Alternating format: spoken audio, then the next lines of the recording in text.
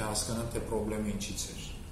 մինչև այս վերլուծությունը չլինի չհասկանանք խնդրեմը ինչն է մենք չենք կարող նաև դրա լավ կամ վատ այն ամենայնիվ ես կարծեմ որ էներգետիկայի նախարարի լուծար նախարարության լուծարանը սա վատագույն տարբերակն էր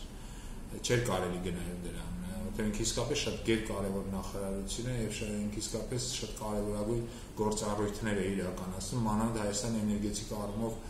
լրջագույն խնդիրներ ունի անհասկանալի է նաև թե ինչու հատկապես այս տարածքային կառավարմանը միացրեցին որոշակի գործառույթներ սա էլ անհասկանալի ինչու տարածքային կառավարման նախարարությունը եւ այլն որտեղ էներգետիկայի նախարարությունը նաև միաժամանակ կատարում էր ոչ մի էներգետիկայի եւ բնական ռեսուրսներ, այսինքն բնական ռեսուրսների կառավարման իսկն հանքարդյունաբերության հետ կապված խնդիրների որոշակի լուծումներ էր տալիս։ Հիմա մենք մենոտ այս բնակավարները որոշակի բարձրացող վիճակում են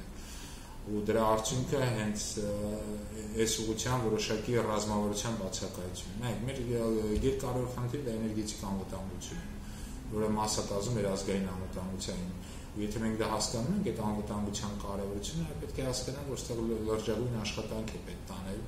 որոշակիորեն օրակարգ է պետք մշակել եւ մեր հարևանների հետ հարաբերություններ հենց այդ խոսքը էներգետիկ օրակարգի մասին է նույն Իրանի հետ հարաբերություններում Վրաստանի հետ եւ իհարկե հիմնական Ռուսաստանի կարող մենք մեծ կախվածություն ունենք Ռուսաստանից հատկապես գազի ներմուծման առումով։ Իսկ սրանք հարցեր են, որոնց պատասխանը պետք է պետությունը տա, ու տվյալ գործող իշխանությունները տան